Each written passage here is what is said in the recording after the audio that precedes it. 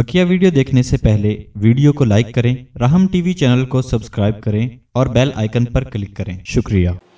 अल्लाह तबारक व ताली के नामों में से आज हम आखिरी नाम पर गुफ्तु करेंगे और वो सौवा नाम है असबूर असबूर का माना खूब सब्र तहमुल वाला और खूब बुरदबार। तो ज़ाहिर है कि अल्लाह तबारक व ताली की खासा है और सबूर इसलिए अल्लाह तबारक व ताली को कहते हैं कि इंसानों के गुनाह अल्लाह तबारक व ताली को इस बात पर जो है बरंगेख्ता या आमादा नहीं कर सकते कि वो फौरी सज़ा दे। यानी इतना बुरदबार है, इतना तहमुल है उसमें कि इंसानों के गुनाह इंतहा को पहुँच जाते हैं। समुद्रों को भी जो अबूर कर जाते हैं, फ़िज़ाओं को भर देते हैं, लेकिन अल्लाह तबारक व ताली बुरदबार उस गुनागार को फौरी पकड़ता नहीं है। उस बागी की बगावत बर्दाश्त करता है। उस गुनागार के गुनाहों को जो वो देखता है और उसके ऊपर सतारी का पर्दा ताने रहता है। इवन कि गुनागार खुद बसौक़ात उन गुनाहों को चाक करना चाहता है लेकिन अल्लाह उस पर पर्दे दिए रखता है। इतना बुरदबार है। तो गोया कि हमारे गुनाहों की इंतहा जो है वो उसको जो है वो किसी किस्म की पकड़ की तरफ़ जो बढ़ने नहीं देती क्योंकि उसका बुरदबारी और तहमुल इतना ज़्यादा है। ज़ाहिर है कि अल्लाह ही की ज़ात है कि जिसको ये शान हासिल है कि वो गुनाहों पर फौरी पकड़ नहीं करता। और ये नाम बड़ा बाबरकत है और इसके जो है वो अदद कबीर दो सौ अट्ठानवे है टू हंड्रेड नाइन्टी एट और अदद मुफरद इसका एक है। तो अजीब व गरीब बाबर का नाम है असबूर ज़ाहिर सब्र तहमुल जो है, ये दुनिया में सबसे बेहतरीन चीज़ सही बुखारी की हदीस है कि उम्र फ़ारूक रज़ी अल्लाह ताला फरमाते हैं कि दुनिया में सबसे बेहतरीन चीज़ जो अल्लाह ने हमें अता की है, वो सब्र है। क्योंकि सब्र ऐसी चीज़ है कि वो मुसीबत में भी इख्तियार किया जाता है और नेमत में भी इख्तियार किया जाता है। मुसीबत में तो इसलिए कि जजा फ़जा ना करे, शिकवा शिकायत ना करे और तहमुल बुरदबारी के साथ उस मालिक और खालिक की तरफ़ देखे कि जो आज तक खिलाता रहा, अगर आज फाका आ गया तो कोई बात नहीं। पहले पहले कोई शिकायत नहीं थी, अब भी शिकायत नहीं। ताम सब्र करता है। और मैं नेमतों में भी सब्र की ज़रूरत है कि जब नेमतें और मालो दौलत क़वत इकतदार देता है सब भी तब भी सब्र की ज़रूरत है, कहीं आपे से बाहर होकर जुलम ना करने लगे। कि नेमतों को बेबहा जो इसराफ और तबजीर में ना लगा दे कहीं इकतदार की ताकत के अंदर जो है वो मजलूमों की गर्दनें ना काटे, उसमें भी उसको तामुर सब्र करना पड़ता है, जब उसको ताकत इकतदार मिलता है। तो फिर सब्र ऐसी चीज़ है कि ज़िंदगी किसी शोबे में इंसान इससे बाहर नहीं निकल सकता। तो इसलिए ये नाम बड़ा बाबरकत। और अल्लाह तबारक व ताली ने भी अपने नामों में सबसे आखिर में इसी नाम को जो है वो गया के मंतखब किया है। तो इसकी बड़ी फजीलतें हैं। एक फजीलत यह है कि अगर इंसान मुसीबतों से आफतों से आलाम से पहले से ही बचना चाहता है तो इस नाम को पल्ले बाँध लें। कोई मुसीबत आफत कोई आलाम नहीं आएँगे। उसका तरीका यह कि तुलु शम्स सूरज निकलने से पहले ये एक हज़ार मरतबा इसका विरद करना है। रोज़ाना। रोज़ाना। अव्वल आखिर ग्यारह मरतब द्रुशिव के साथ या सबूरू या सबूरू या सबूरू स्वाद पर जो है ज़बर आएगा या सबूरू या सबूरू या सबूरू फरमाया कि पहले से ये गोया कि ऐसा ही है हिफ्ज़ मा तकदम है प्रिकॉशन है कि कोई मुसीबत आने ही आएगी नहीं। और आपको ये सब्र के मुकाम पर जाने की ज़रूरत ही पेश नहीं आएगी। आप शुक्र में मज़े उड़ाएँगे क्योंकि मुसीबत ही करीब नहीं लगेगी। ये इसमें खूबी है। और दूसरी खूबी इसमें यह है कि कोई दिल को कोई गम या रंज लगा हुआ है। तो दिल के गम और रंज को दूर करने के लिए इसमें ज़बरदस्त तासीर है कि इंसान अपने नाम की अदद या ख़ुद इसकी जो अदद है, दो सौ अट्ठानवे। तो दो सौ अट्ठानवे मरतबा किसी एक नमाज़ के बाद इसका विरद करे, या सबुरु या सबुरु अव्वला की ग्यारह मरतबा दुरुशी। और एक कप पानी भी दम करे, पानी पी ले, बदन पे फूके और दुआ कर ले। ग्यारह दिन पाबंदी से कर ले। किसी भी किस्म का दिल पर बोझ, गम होगा, उदासी होगी, ख़त्म हो जाती। और इंसान बिल्कुल शादा फरहा हो जाता है। ये इसकी तासीर।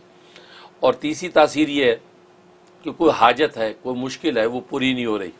बिल्कुल, कहते हैं ना, उन्नीस बीस, उन्नीस तक पहुँच के इंसान गिर जाता है, बीस तक नहीं पहुँचता, मंजिल नहीं मिलती। तो हाजत इसकी पूरी नहीं हो पा रही, उसके लिए इसमें बड़ी तासीर है। वो ये कि हर नमाज़ के बाद इसकी जो अदद है दो सौ अट्ठानवे, दो सौ अट्ठानवे मरतबा टू नाइन्टी एट टाइम जो है, ये या सबूर का विरद करे और विरद करके उसके बाद हाथ उठा के दुआ करे। अव्वल आखिर ग्यारह मरतबा दरूद इब्राहिमी पढ़े। और ये जो है वो ट्वेंटी वन डेज़ की नीयत से शुरू करे। अगर ट्वेंटी वन डेज़ में काम ना हो तो फोर्टी वन डेज़ पूरे कर ले। किसी भी किस्म की हाजत होगी। दीनी दुनियावी नफसियाती अल्लाह तबारक व ताली ख़जाना गैब से पूरी कर देते। ये तासीर।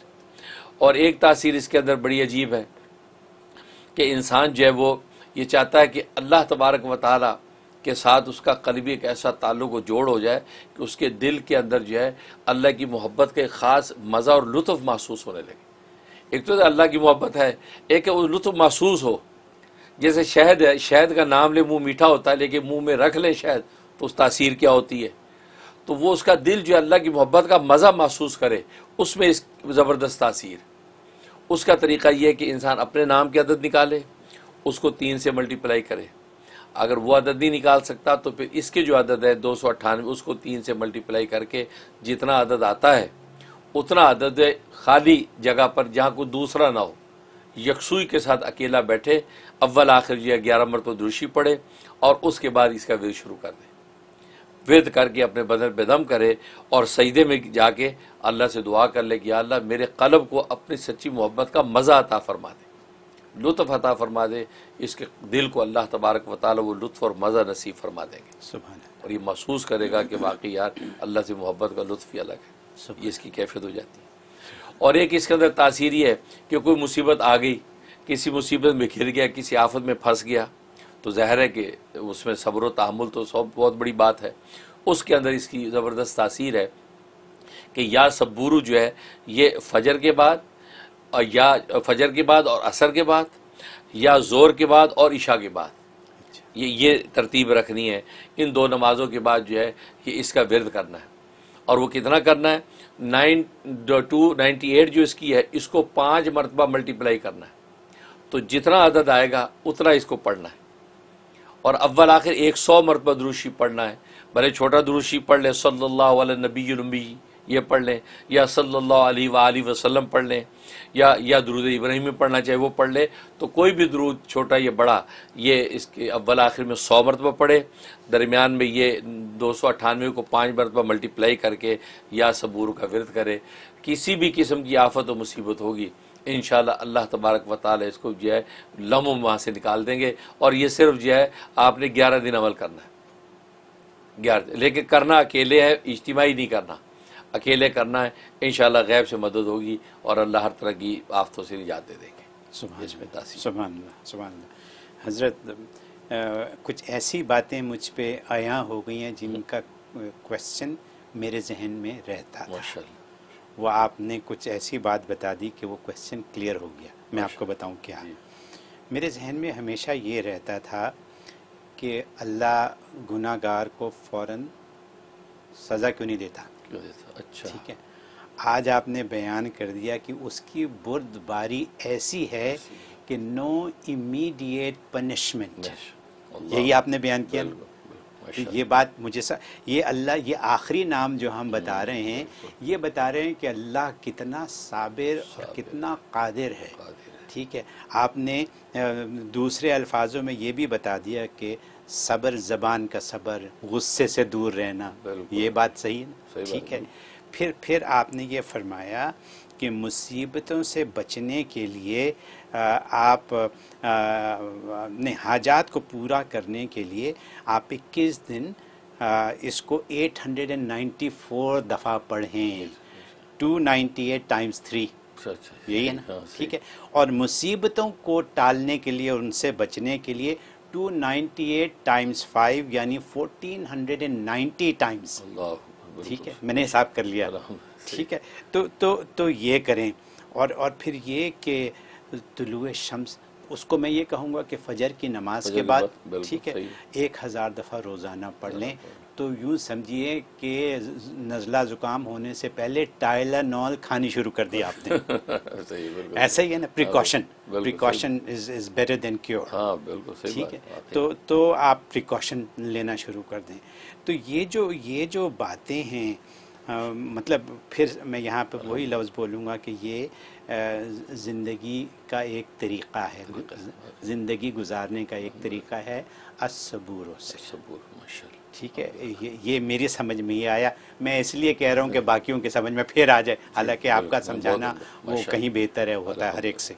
But but but thank you so very much for enlightening us with something like this in the manner that you did so so so we all appreciate from the bottom of our heart and I am going tell you that we are not going leave you alone we going miss you for these things in future so मैं ऐसे ही क्वेश्चनों से आपके पास आता ही रहूँगा। बहुत- बहुत शुक्रिया।